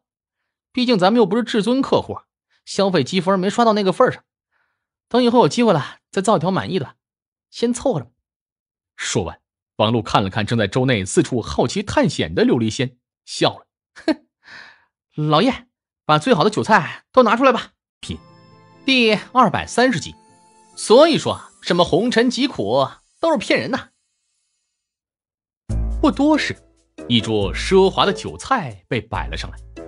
正在楼上疯跑的琉璃仙顿时被牢牢吸引住了，不可思议的看着厅中摆出的饭菜：天香玉露、珠玉五花、翡翠白菜、玄冰乳酪。这当初在御苑酒楼当中，琉璃仙都未曾见过如此奢华的菜品呢。这都是真的吗？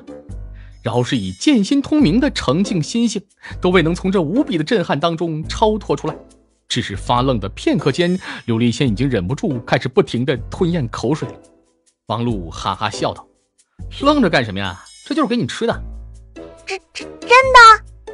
王璐已经径直挑起一块肥嫩的羊排丢给笨狗了，被其一口吞下。不吃没有了啊！我要吃，我要吃。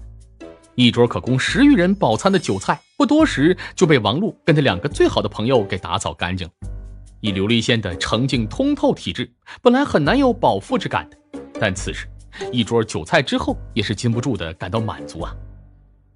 哎，老爷，酒足饭饱了，可以上节目了。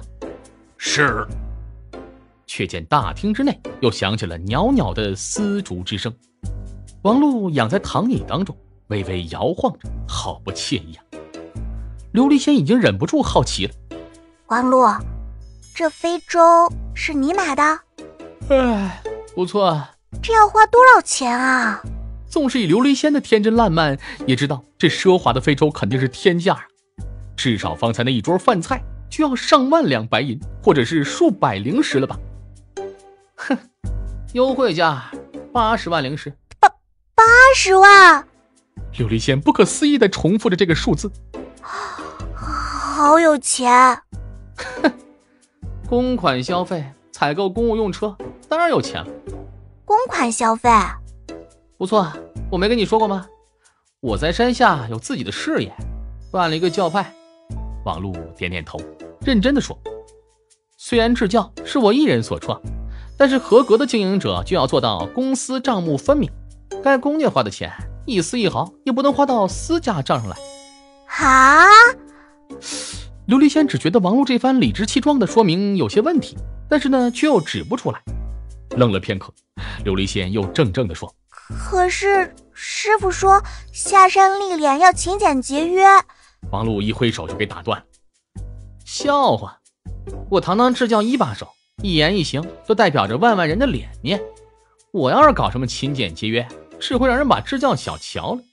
说着，王璐潇洒的一躺。哎，小琉璃呀，好好学着点吧，这叫领导待遇。凌云舟啊，一路向西而行着，往云州飞去。这非洲翱翔高空，可日行数万里。纵使以九州大陆之广阔，也只需要一两日的功夫，便可飞离苍西州地界，进入毗邻的云州。对此，琉璃仙满是惊叹与为难，因为下山之前，师傅曾经认真的告诫过，这一次前往云州的历练，沿途上一定要多记多看。上一次入世的历练完全变成了美食旅行啊！这一次切不可再那么胡闹了。以他们二人的脚程，到云州这一路至少也要十来天的功夫，一路上要认真的观察，仔细的思考。可是。看着非洲之外那白皑皑的云层，以及晴朗的日空，琉璃仙单纯的心思里不由得疑惑起来：现在这么飞，用不了两天就到云州了。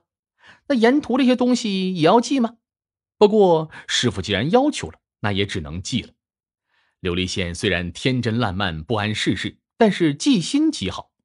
呆呆站在大厅的边缘，看着窗外飞瀑一般后退的云团，心中已经将眼前的景象全数给记了下来，甚至自动将翻腾的云团脑补出了各自的形象，比如有的像是椭圆的烤肉，有的像是啊方形的烤肉，有的像是正在滴油的烤肉，还有的……少女认真的记忆着，准备回去将自己的记忆结果认真的说给师傅他老人家听。相信他老人家一定会很高兴。至于王璐和叶初晨，此时则围在大厅的一张茶几旁，由叶初晨对这几年来的工作进行着汇报。王璐在山中修行这几年，智教的工作总结每隔十天都会准时通过顺丰邮递送到无相峰上，因此大概的情况还是了解的，但一些重要事务的细节就需要叶初晨口头补充了。总的来说，智教的发展已经进入了一个良好的上升轨道，即便是没有王璐手把手的扶持，也拥有了自行发展的基础了。如今智教教徒广泛统计数量已经超过了万万人了，而大明国作为智教的根基，更是被经营的铁桶一般。叶初晨、李娜娜、明云道人这三大巨头，在大明国内的声望，比起宰相来也不遑多让啊。教派的动员组织能力堪称是逆天呐，而集合了万万人的力量，加上五年前王璐的巨额投资，智教在基础建设方面已经取得了极大的成就了。下品灵物灵石等产量之大，就连玄天馆也为之瞩目，并且在年前签署了协议，建立了长期合作关系。而单单是靠了一些基础层面的建设，智教每年能够得到的收益，就已经令很多了解内情的人为之瞠目了。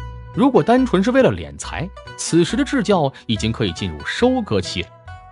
王璐当年的惊人投入，最多十几年呢就可以回本而要是进行一些简单的资本操作，收益就更为惊人了。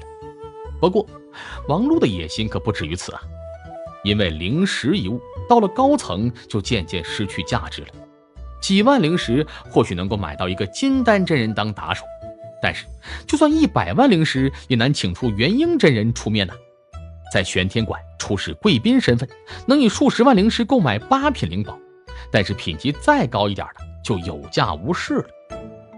而王璐的解决方案就很简单了：产业升级，日后自给自足。要实现这一宏伟蓝图，最大的问题就是人才不足。如今智教万万人，但是教派几个副教主仅仅是虚丹修为的。而且在虚丹当中还不算是强的，尽管花钱雇了几个金丹级别的打手，但是总体来看，距离一个成熟教派还差得比较远。这怎么办呢？很简单，砸钱呗。智教现在什么都缺，唯独就是不缺钱。尽管对于那些真才实学的名士来说，单靠灵石很难吸引得来，但是名士不来，来几个在名门大派里面混不下去的落魄修士，也胜过叶初晨这堆散修啊。王璐要求智教拿出重金来引进人才，并为之提供极其奢华的福利待遇。这项战略实施起来已经有半年多了，着实吸引了不少名门正派虽看不上，但对智教来说却是珍贵无比的人才过来，发挥了极大的推动作用。而王璐作为智教的一把手，也顺理成章地享受了应有的领导待遇。事实上，这种事儿领导不带头，反而让旁观者怀疑你的实力了。所以。王璐正是要用这凌云两千来昭示天下，智教财大气粗，底气十足，诚聘英才，欢迎加盟。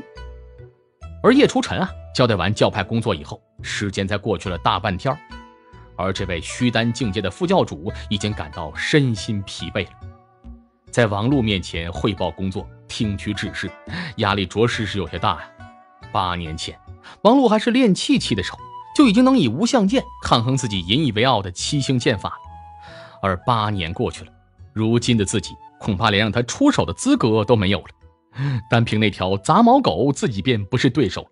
而且，王璐虽然说话是语气平和，但是言出必中。叶初晨这几年的失误被他轻而易举的就挑脸出来，虽然没有批评，但却令他冷汗直流啊。好在难熬的时间总算过去了。叶初晨舒了口气，笑着为王璐介绍起了云州的风土人情。云州啊，位于苍溪州的西北方向，作为九州大陆的重要组成部分，幅员辽阔，物产丰富等等，自是不必说了。其最大的特点就是乱。不同于万仙盟五绝镇压的苍溪州等州，云州地界上始终没有出现过威慑力特别强大的教派，就连万象宗啊、流云宗这个级别的门派也都没有。一州之地被数十个、上百个诸如白龙观、慈云山的三四品门派瓜分，说好听了是百花齐放，说的难听一点就是军阀割据之势啊。不过，这般的形势有利也有弊，好处是形势混乱，有利于智教这样的教派浑水摸鱼；坏处则是一不小心就会翻船。以智教的实力，还比不得那些三四品的宗派，所以。王璐数日前传信叶初晨，要他备好了凌云舟，一道前往云州，就让叶初晨也是很好奇啊。这局座大人这一次去云州，究竟是想做什么呀？